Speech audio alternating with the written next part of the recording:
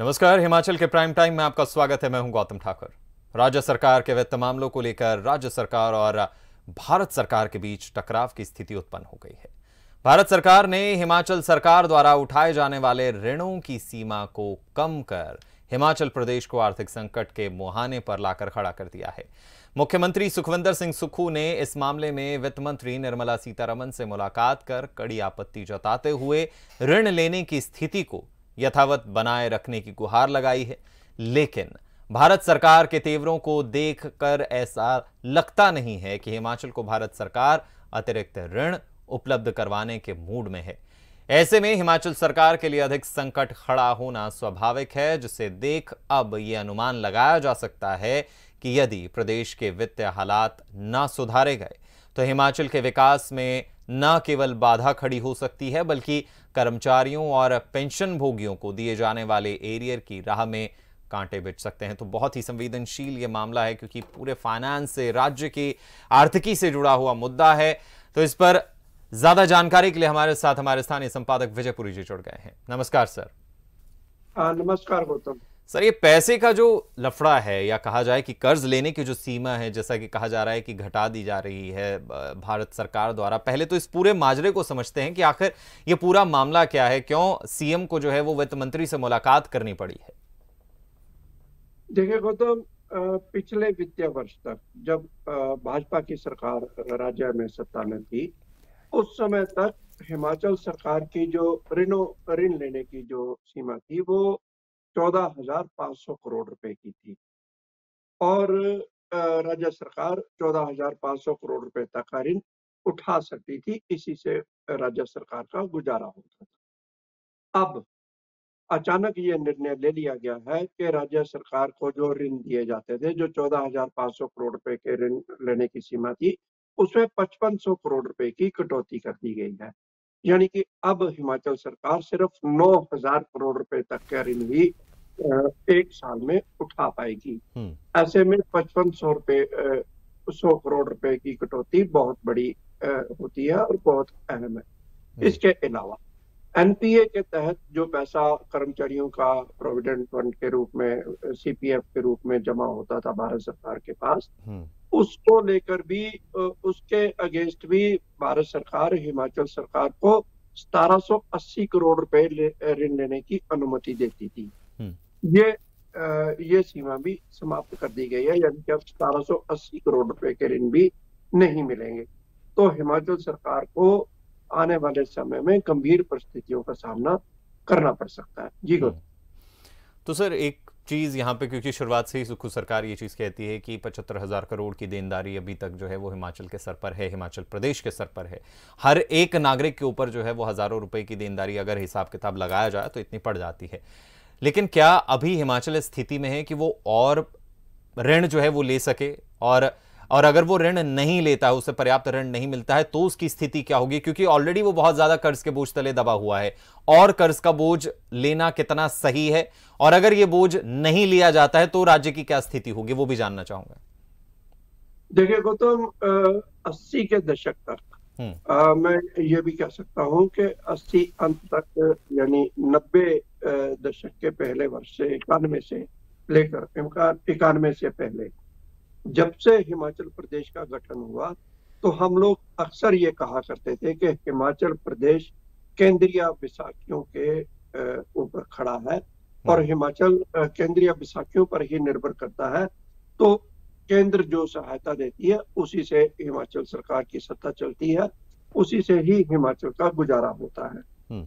इक्यानवे के बाद मैं ये कह, कह सकता हूँ कि उन्नीस सौ इक्यानवे के बाद हम लोग ये कह सकते हैं ये दावा कर सकते हैं कि हिमाचल प्रदेश ऋणों की विसाखियों पर खड़ा होता है और ऋण उठाता है तो हिमाचल सरकार का गुजारा होता है हम्म। यही कारण है कि उन्नीस सौ इक्यानवे में जब पहली बार मेरे जो मेरे ध्यान में है उन्नीस में हिमाचल सरकार को एक सौ पचासी करोड़ रुपए का हम्म। ऋण उठाना पड़ा था ये वित्तीय घाटा भी कहा जा सकता है एक सौ पचासी करोड़ रुपए के ऋणों के बोझ तले हिमाचल सरकार दब गई थी उन्नीस सौ इक्यानवे में हम्म। जो बीस आते आते अब लगभग पचहत्तर हज़ार करोड़ क्या मतलब अब आठ हज़ार करोड़ रुपए से ऊपर कह सकते अस्सी हज़ार करोड़ रुपए से ऊपर कह सकते हैं हम। हम्म, हम्म। अस्सी हज़ार करोड़ रुपए से ऊपर के ऋण हिमाचल सरकार उठा चुकी है और लगातार यह वित्तीय घाटा बढ़ता जा रहा है। कर्मचारियों का वेतन देना हो पेंशन का भुगतान करना हो या फिर अन्य विकासात्मक कार्य हो ये सभी कुछ ऋणों पर निर्भर करते हैं और इसके लिए हिमाचल सरकार एक महीने में ना से ही हर दूसरे महीने तो ऋण उठाने के लिए मजबूर ही है और इसे उठाना पड़ता है यही कारण है कि आर्थिक विशेषज्ञ अब ये कहने को मजबूर हो गए हैं कि यदि ऋण ना मिले तो हिमाचल सरकार की वित्तीय स्थिति डगमगा सकती है, विकास के कई कार्य कार्यों में बाधा। आ सकती है और आने वाला समय हिमाचल सरकार के लिए संकटपूर्ण हो सकता है। जी गौतम।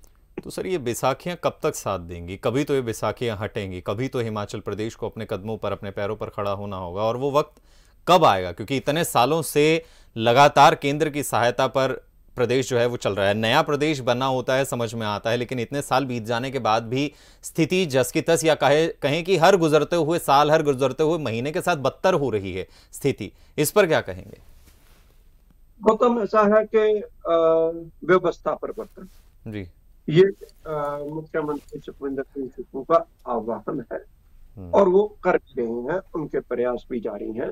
उनका ये दावा है कि वो व्यवस्था परिवर्तन करेंगे और उस व्यवस्था परिवर्तन में उनका ये आ, सपना है जिसके जिसके लिए हिमाचल का हर नागरिक कामना भी करता है कि उनका ये सपना है कि हिमाचल को आत्मनिर्भर बनाया जाए उनका ये भी सपना है कि हिमाचल प्रदेश को देश के समृद्ध राज्यों में से एक नहीं बल्कि हाँ। सबसे समृद्ध राज्य के रूप में विकसित किया जाए तो यदि ऐसा होता है उनकी योजनाएँ आने वाले समय में क्या रंग लाती हैं ये देखना होगा लेकिन अभी आज की परिस्थितियों को देखते हुए मैं ये कह सकता हूँ कि भारत सरकार ने मुख्यमंत्री सुखविंदर सिंह सुक्खू की राह में रोड़े अटका दिए हैं हम्म। कांटे बिछा दिए हैं और उनकी राह बहुत कठिन हो गई है।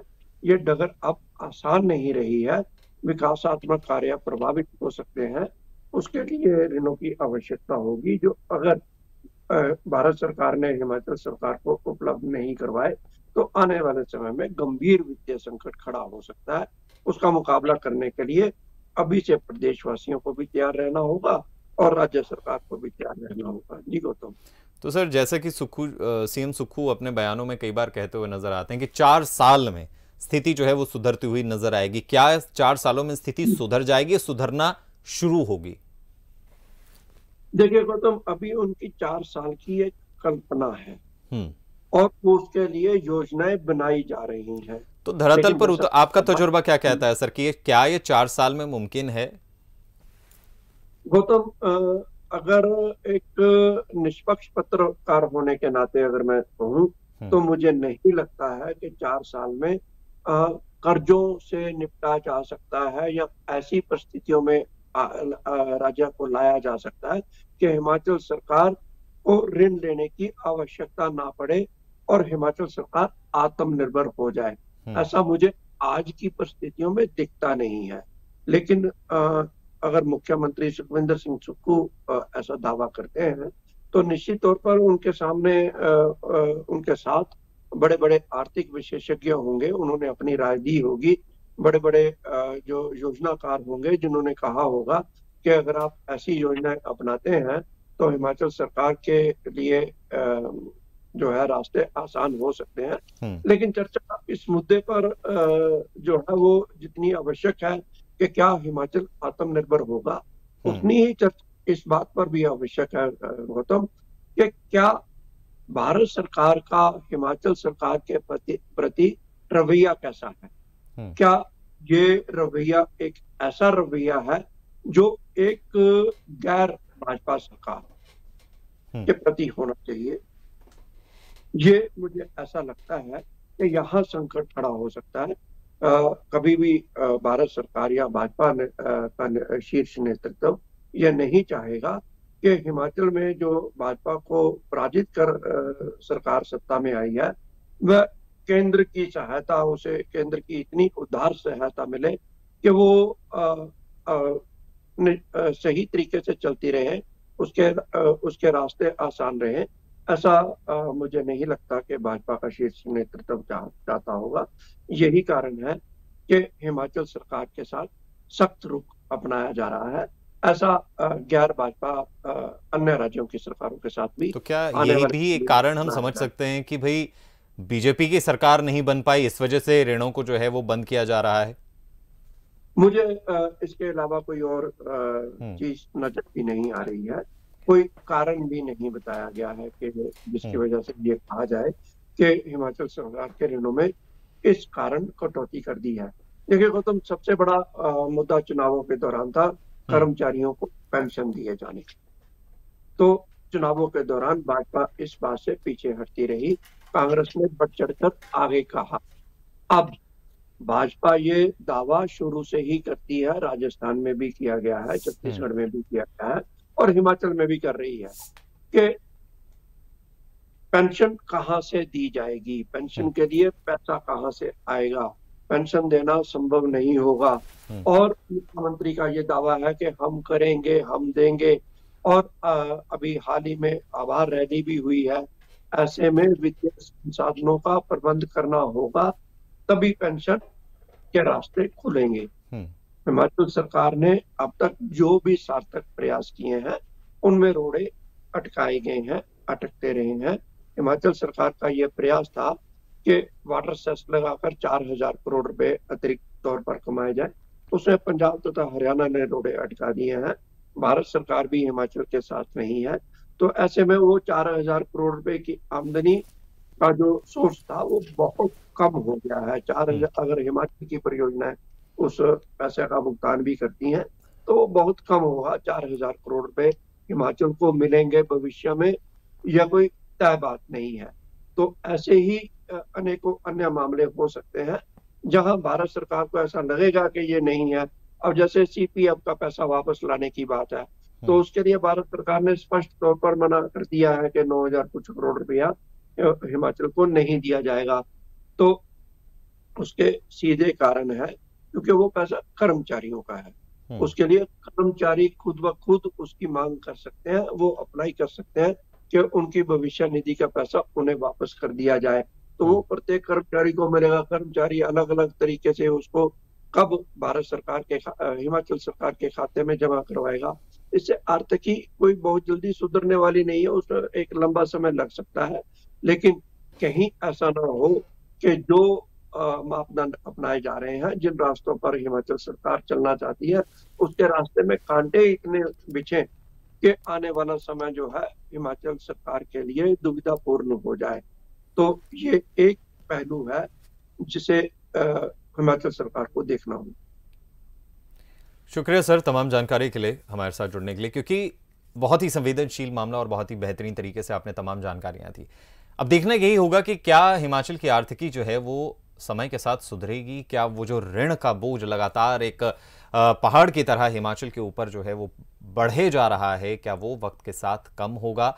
क्योंकि ऋण की जो तलवार है, ऋण जो मिलने की एक आस थी, वो अब जो है वो कम हो गई है। अब कहा जाए कि कहीं ना कहीं केंद्र आनाकानी करता हुआ नज़र आ रहा है और अगर ऋण नहीं मिलेंगे, वो बैसाखी जो है वो साथ नहीं देगी तो हिमाचल आगे कैसे बढ़ेगा, ये सबसे बड़ा सवाल है। तो इसके लिए ना सिर्फ़ सरकार को, राज्य सरकार को, बल्कि आम जनता को भी तैयार रहने की ज़रूरत है, मुश्किल वक्त के लिए, और अपने आप को मज़बूत करने की ज़रूरत है।